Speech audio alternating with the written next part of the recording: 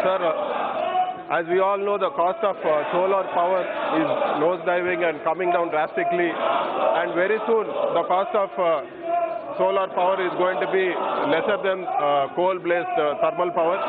But the recent auctions which have taken place in, in our country, all the coal blocks, they have not reached their rated capacity. Most of them are not uh, operational now. And now the minister is talking about more uh, mines which are going to be auctioned.